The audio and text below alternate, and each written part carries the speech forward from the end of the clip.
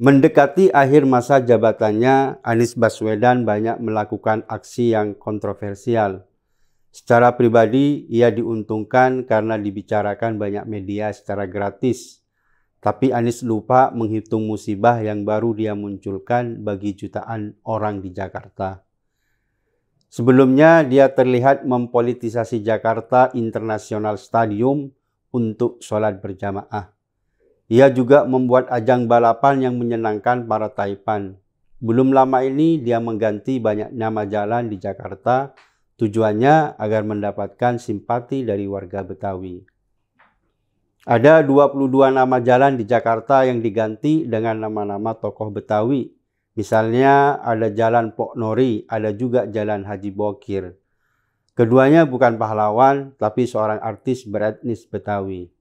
Kata Anies, penggantian nama jalan itu untuk menjunjung kearifan lokal dan meningkatkan jiwa nasionalisme.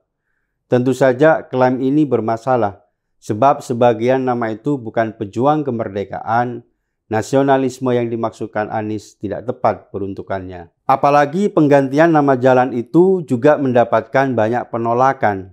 Puluhan warga di Kebun Jeruk, Jakarta Barat menolak karena penggantian nama jalan itu dilakukan tanpa sosialisasi. Mereka membentangkan spanduk bertuliskan penolakan penggantian nama jalan. Warga kecewa karena kebijakan itu dilakukan secara sepihak tanpa melibatkan warga dalam musyawarah. Itu artinya warga setempat tidak diikutkan dalam proses penggantian nama itu. Padahal penggantian banyak nama jalan secara bersamaan itu menimbulkan masalah administrasi. Sejumlah orang dari tiga rukun warga menolak pergantian nama Jalan Madrasah 2 menjadi Jalan Syekh Abdul Karim bin Asfan karena nama yang lama sudah merupakan identitas bagi mereka. Selain tidak ada sosialisasi, mereka juga akan mengalami kesulitan dengan masalah pengurusan administrasi domisili dan surat menyurat.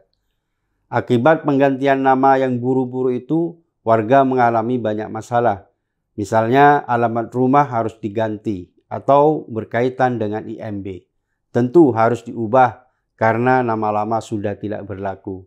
Selanjutnya yang juga wajib diubah adalah KK dan KTP. Bisa dibayangkan banyaknya orang berjubel karena mereka harus mengganti alamatnya. Mereka harus keluar rumah, menyiapkan waktu dan biaya yang tidak sedikit. Belum lagi soal BPKB dan STNK yang juga harus balik nama. Harus ditambah pula dengan akte notaris, TDP, NPWP, SIUP.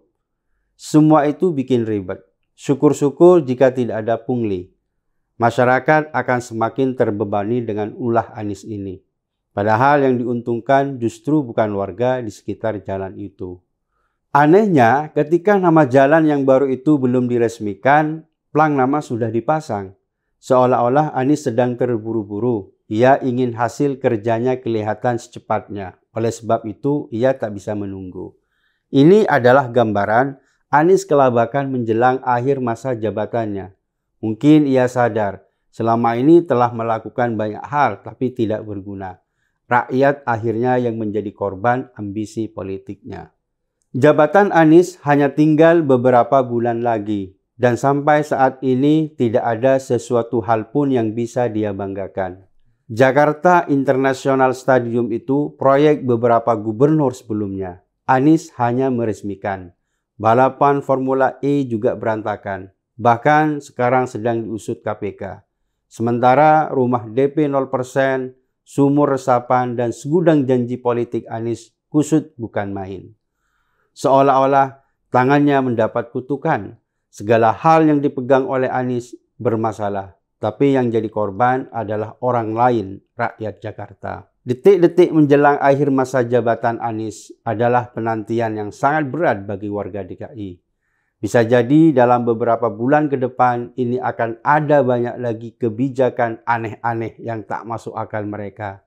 Kebijakan yang menyenangkan segelintir orang tapi meresahkan ribuan lainnya. Kasihan memikirkan nasib warga Jakarta. Mereka sudah jatuh, masih pula tertimpa tangga.